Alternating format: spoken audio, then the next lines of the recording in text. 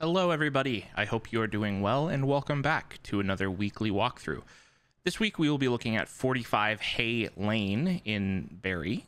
It's technically been on the market already for nine days, uh, but they've obviously just reduced the price, probably, uh, and brought it back on fresh. We'll look at that when we get to it. It's an interior townhouse listed at 650 uh, and it's in the southeast ish end of Barrie uh, in Innishore. But before we get into it, if you could head down below and hit that subscribe button as well as the notification bell to stay up to date with all of our content, and if you could hit that like button as well, it would be appreciated. So, 45 Hay Lane. Let's see. They don't have the map picture. Tragic. Let's just do this then. Oh my word, I know my numbers. Boop. 45 Hay Lane, you're right there, which in the grand scheme of Barrie, south east ish, as promised. You're very close to uh, Mapleview. You are a bit of a distance you're getting to be a bit of a distance from the highway at that point, um, as you can see here. So your trek, if you don't have to be hitting the 400 all too frequently, it's not a bad spot. Um, but if you need to hit the 400, I guess you are on Mapleview. You know, you, you might be okay. Disregard. This spot, pretty okay. It's when you get farther east even still, or into Tollendale kind of situation.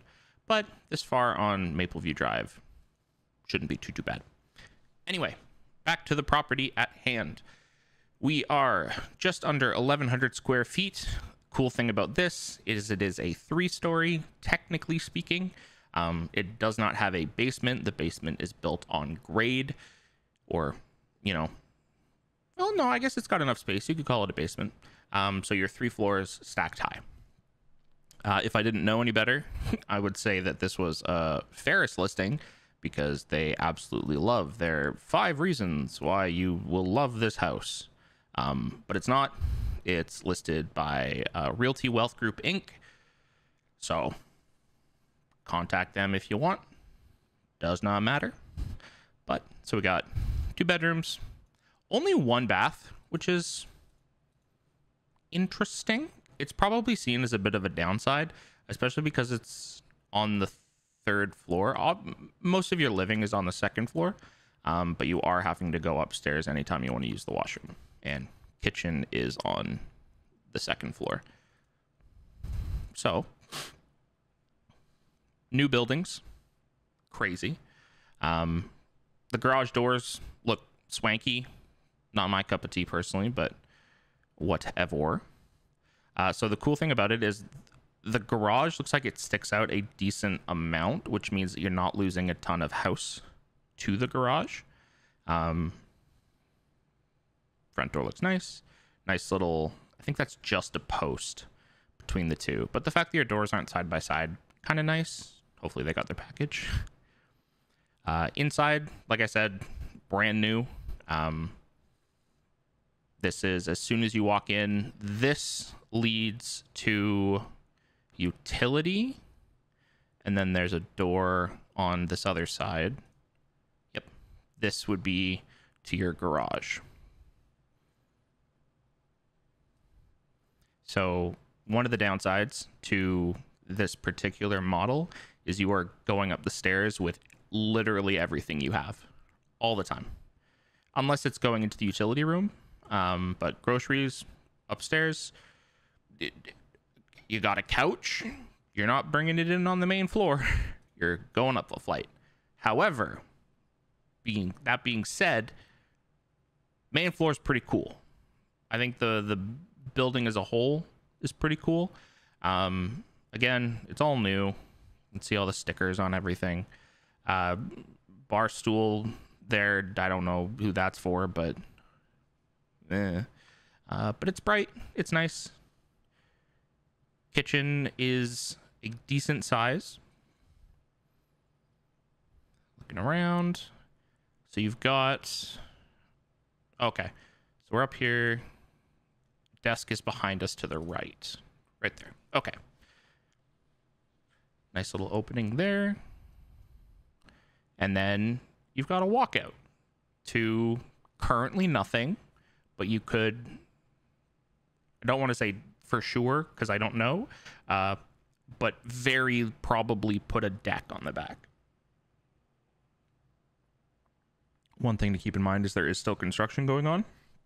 So it's to. Your outside is not to be pristine for a bit. This is more of the main floor. This is on the far side.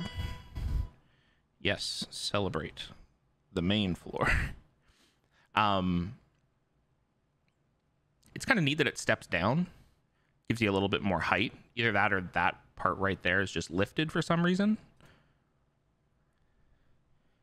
Oh, for some reason. It's it's the stair, you idiot.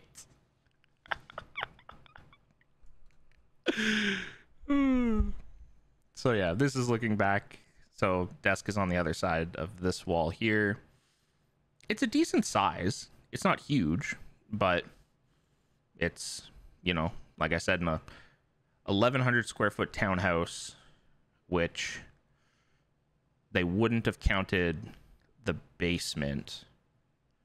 So you're 550 square feet per floor, which isn't bad. It's good. It's bright. This is upstairs. Your bathroom, bedroom, other bedroom. No, same bedroom. Yes. Still the same bedroom. There's the bathroom.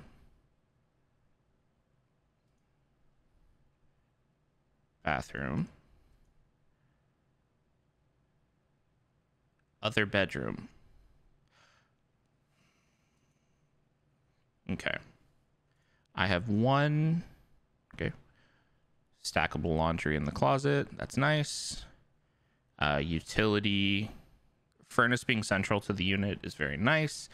Helps with heat distribution, so you shouldn't have any issues with that. You've got another walkout in the basement pretty sweet. I don't know if you could really do anything down here though, um, which is unfortunate. While it's nice to have the furnace central for heat distribution, I like I guess just storage for I don't know like your lawnmower and stuff if you want to cuz I based on the space I don't know what you would do like this couldn't be living area. Like it's just too small with the space provided and like the walkout almost feels like a bit of a waste. And then you've got your garage that could I could probably walk straight down it without having to turn. Um, but you're fitting a car in there and that's about it. It is long, I guess, so you can you know, keep stuff stored at, at one end, but you're not getting much past it. There's probably a door um, right about where the camera is, kind of like right down here against the wall, and that would lead back inside. So, what I was confused about up here so, first off, bedroom or the second bedroom, very, very small. It's a guest bedroom at most. Um, honestly, more like throw a day bed in there and take your naps. Um, but I just need to see because the bathroom looks like it is inside this bedroom, which then means that access to that bathroom is only available in this bedroom unless there's a second door that I can't see. Maybe there is a second door. You know what? there's probably a door here, and then it might be a stretch, but I feel like that's another like end of a door. So I feel like you probably have two entrances because they they wouldn't make it so that the only entrance is is through the bathroom or is through the the master, and that's your laundry closet right there. No, it can't be your laundry closet. It has to be your bathroom closet. So where's your laundry?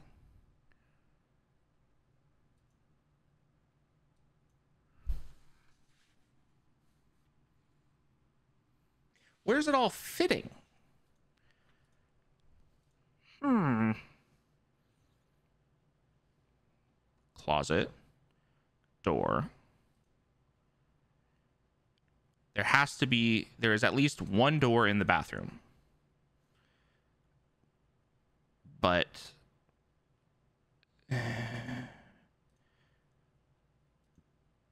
Like, there's that door and then the space